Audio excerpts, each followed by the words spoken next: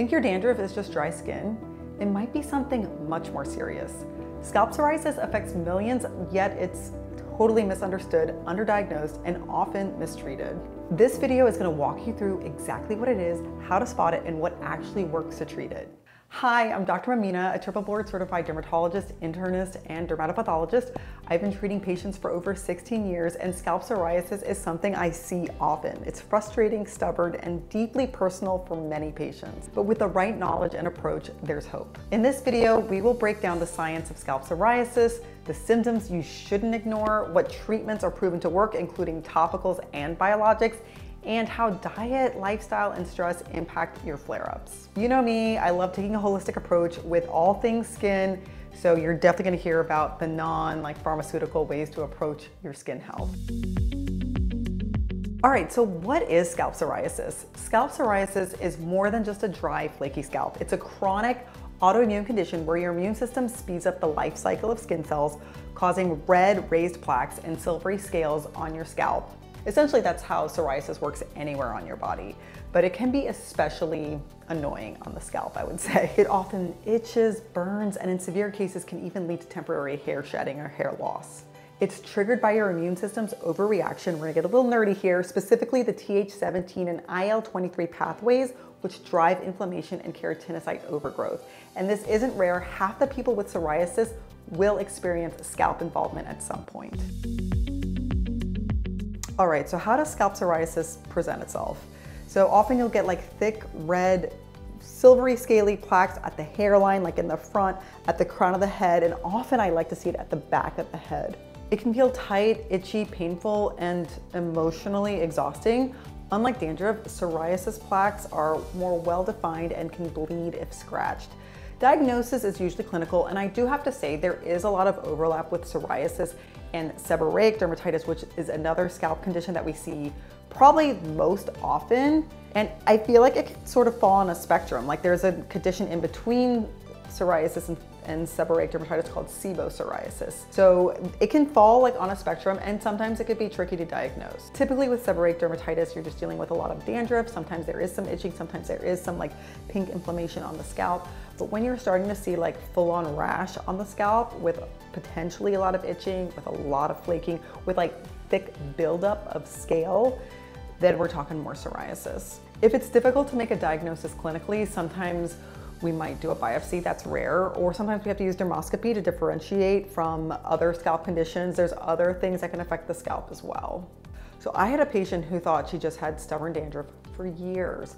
Turns out when I examined her scalp, it was full-on scalp psoriasis that needed a whole different approach entirely. All right, so let's talk about first line treatments for psoriasis. Topical steroids are still the gold standard for mild to moderate scalp psoriasis. We use like vehicles like foams, solution sprays, shampoos with like clobetasol, betamethasone. These can help calm the inflammation fast.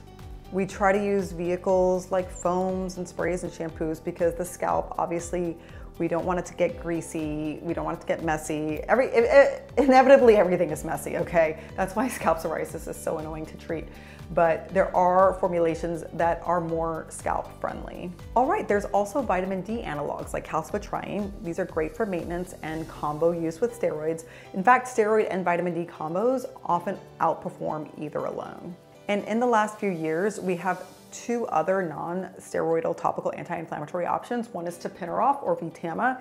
The other one's roflumilast or Zoryve. So treatment is becoming more promising, at least for topical treatments. And like I said, we will start with topicals from mild to moderate psoriasis. Oh, and one thing most people don't realize is that yeast plays a major role in scalp psoriasis. We have a ton of Malassezia yeast that live on our scalp. They love feeding on our scalp oils and people with psoriasis, this can trigger inflammation and flares. So that's why anti-yeast shampoos like ketoconazole shampoo, ciclopirox shampoo, we commonly prescribe those too. They reduce the yeast load and calm the scalp. For thicker plaques, we sometimes use keratolytic agents like salicylic acid, you know, in a shampoo form. These can help break down that thick scale. Obviously, dealing with the scalp, medicating the scalp is obnoxious. So like I said earlier, look for things that are non-greasy like foams, solutions, and then use shampoos that are medicated. All right, so if your scalp psoriasis is moderate to severe, or if you're just not responding to topicals, then we may move on to more systemic treatment. So we have biologics that target different cytokines like IL-17 or IL-23. IL-17 examples are secukinumab like Cosentyx, ustekinumab like Taltz. There's also the anti-IL-23 examples are risankizumab or Skyrizi, um, or guselkumab, gusel, I can never pronounce it, guselkumab. I just, it's Tremfya. Like I said, it's just a whole nother language. We just go by the brand names for a lot of these, but I feel like for, for like YouTube and stuff and videos, I, I need to say like the formal generic name for educational purposes. Anyways, I am obsessed with these biologics. They have shown amazing results in clearing scalp psoriasis. For example, studies show up to 80% scalp clearance with IL-17 inhibitors. I've had patients who've struggled for years and then saw their scalp clear completely within a few months of starting a biologic. For those who aren't candidates for biologics, there are some oral immunomodulatory options like apremilast, aka Otezla.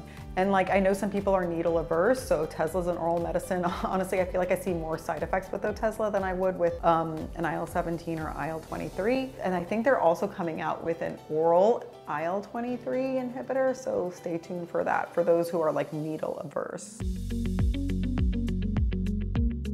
Now let's talk about what you can do outside the pharmacy because managing scalp psoriasis honestly requires a whole body approach. Y'all know this.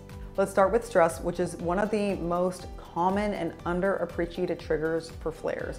When your body is under chronic stress, your immune system becomes dysregulated and then that can directly worsen inflammation in your skin.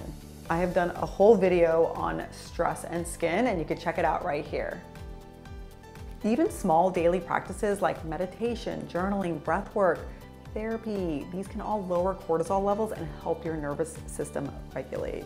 It's honestly not like woo-woo, it's physiology. Something else interesting that I've noticed too in my patients with psoriasis are like people who work night shifts. There is a study, I think there's more than one study, but I've, I've seen one study that showed how working night shift in women increases their risk for psoriasis or can trigger more psoriasis.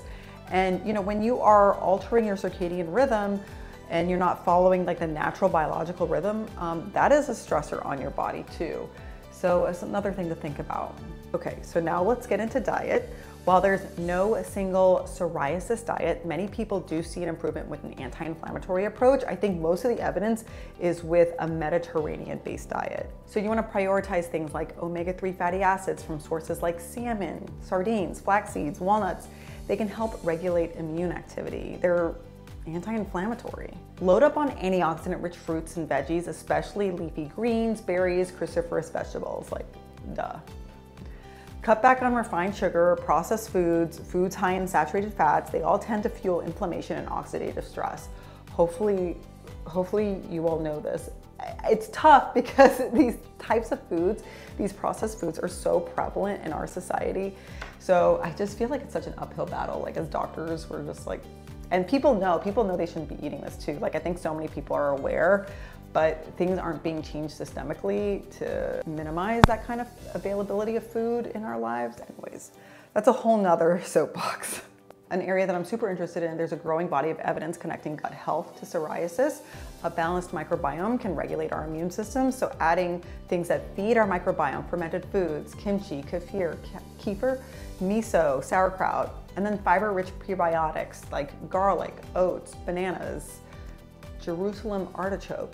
These can all help support your gut-skin axis. A high-quality probiotic may also be beneficial, especially for those with a history of antibiotic use or GI issues.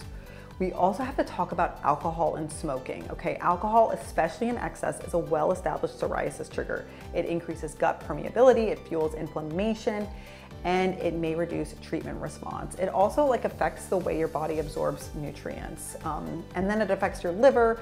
Fatty liver has been associated with psoriasis. So alcohol is just no bueno with psoriasis, okay? Sorry to say. And then no big surprise, smoking is another major trigger. Not only does it increase your risk of developing psoriasis, it can make existing disease harder to treat.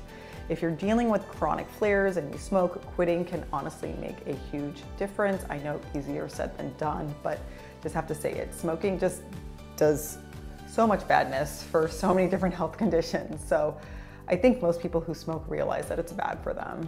But yeah, it's one of those things where it's like, what do you want? What's more important to you, you know? And it's tough for some people. And then on the flip side, exercise can be a game changer. Regular movement can lower systemic inflammation, it improves insulin sensitivity, and it reduces stress and can help regulate immune function. Like exercise is one of those super underrated things. Like we all know exercise is really important for you, but if people actually exercise, it can heal so many different ailments. It's amazing. And it doesn't even have to be intense, like even walking, gentle yoga, dancing, that all counts. And then bonus points if you're also supporting your mental health, which is tightly linked to flare frequency. Finally, you know, scalp care is also really important. You wanna avoid shampoos with like harsh formulations, fragrances, um, harsher levels of sulfates, because these can strip your skin and affect your skin barrier essentially. You wanna use like fragrance-free formulas.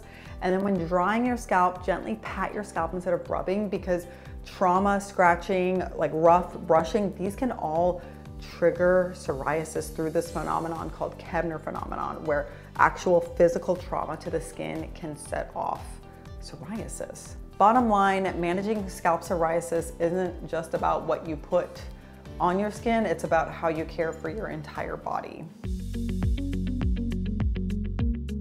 All right, so let's talk about natural and integrative therapies for psoriasis because while they aren't a replacement for prescription treatments, some of them can play a really meaningful and supportive role. So first up, let's talk about supplements with the most science behind them. Omega-3 fatty acids from fish oil or algae oil are probably the most well-studied. They can reduce systemic inflammation, support your skin barrier, and may even help improve response to your biologic treatments. Studies also suggest that higher doses, like often in the range of two to four grams per day, can be helpful for people with psoriasis, but obviously always check with your doctor on the dosing and before even starting a supplement. And then probiotics may help by improving gut health and modulating your immune responses, especially if you've had a history of antibiotic use or GI issues, like I mentioned earlier. And there's increasing evidence connecting the gut microbiome to chronic inflammatory conditions, including psoriasis. So like I said, supporting your gut flora could indirectly benefit your skin. Vitamin D is another big one. So many people with psoriasis have suboptimal levels of vitamin D, which plays a role in regulating immune function and keratinocyte turnover. So supplementing to bring your levels into an optimal range, not just the bare minimum, may help improve skin symptoms. And then speaking of vitamin D, we have to talk about light, sunlight. And I forgot to mention another treatment. We don't use this as much for scalp psoriasis, but there's light therapy where there's a specific wavelength of UVB light. It's narrowband UVB, it's 320 nanometers in wavelength. And that penetrates to the level of your skin where there are certain inflammatory markers and can modulate those inflammatory markers and decrease inflammation. So that's why when people with psoriasis go outside, they can notice improvement. I think not only from the, the specific wavelength of UVB, the narrowband UVB, but also like the vitamin D from outside. Now, this is like sort of a tricky line with dermatologists because we don't tell people to just bake out in the sun because of the increased risk for skin cancer. There is a way to do it safely. You know, you want to minimize your time outside. You definitely don't want to burn, but light, whether it's sunlight or light therapy, is another form of therapy essentially for psoriasis. And this is not me giving you like a hall pass to go bake out in the sun, like I said, okay? You have to still sun responsibly. All right, another supplement, curcumin. This is the active compound found in turmeric, and this has anti-inflammatory and antioxidant properties. When you take it orally in supplement form, ideally with black pepper extract or in liposomal form, um, this is helpful for better absorption. It has been shown to have promising results in clinical studies for reducing, you know, psoriasis severity scores. So now let's talk about herbal ingredients that are still emerging but look promising. There's something called indigo naturalis, which is a traditional Chinese herb that's been studied in topical ointments for plaque psoriasis, and it's shown significant improvement even in some trials. It's even being formulated into some prescription level treatments in Asia. Berberine, which is found in herbs like golden seal and barberry, has antimicrobial and anti-inflammatory effects. Some early studies suggest it may help modulate immune responses in psoriasis, but of course we need more human trials for this. And then there's this herb, I know I don't ever know if I pronounce it correctly, but it's Scutellaria baicalensis or Chinese skullcap. This contains flavonoids that have also been shown to reduce inflammation and the proliferation of skin cells in vitro and in animal models. It's another herb with growing interest in integrative dermatology. Obviously, we still need more studies. So in summary, with the things that I just mentioned, I think the things that we have the most evidence for with supplements are um, omega-3s, vitamin D, and curcumin. And then as for other complementary therapies, while the research is still early or limited, many people report benefits from things like acupuncture, which may help with stress reduction and overall immune balance. Then there's also Ayurveda, which is a holistic system of medicine that often includes dietary adjustments. There's also some herbal remedies and lifestyle changes tailored to your dosha. And then there's something called balneotherapy and climatotherapy, which involves bathing in mineral-rich waters like the Dead Sea or spending time in specific climates to reduce flare frequency. I actually had the privilege to visit um, La Roche-Posay, France, because they do offer balneotherapy at their like um, at their like thermal spring water center there. It's amazing. People with eczema and psoriasis can bathe in these mineral rich waters, super healing. And I love that it's just another like non-pharmacological like minimal to no side effect option for patients. There's another medicine I wanna talk about. It's not commonly prescribed at all. Only some doctors will prescribe this. It's called low-dose naltrexone or LDN. This is an off-label prescription medication that's gaining popularity in autoimmune and inflammatory conditions because it's a it has the ability to like modulate your immune response and reduce systemic inflammation. I do prescribe low-dose naltrexone. Like I said, I don't, I mean, I only know like a handful of derms out of the thousands of derms I know that prescribe this. It's not a common thing. I think that there are more rheumatologists that will prescribe this, but it's something to look into if, if you're not a candidate for biologics or other treatments. And I always have to like put this disclaimer in. I just want people to remember natural doesn't always mean safe or right for everyone. Please talk to your doctor or dermatologist before starting any new supplement or treatment, especially if you're pregnant, nursing, and taking other medications.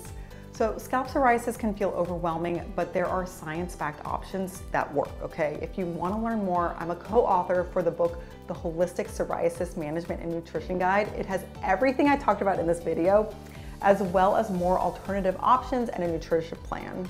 And I'll provide the Amazon link in the show notes. If you found this video helpful, please like and subscribe and let me know in the comments what's been your biggest challenge with scalp psoriasis. I'd love to help you navigate it. You wanna learn more about treating inflammation from the inside out? Check out my video on skin and diet linked right here. I'll see you there.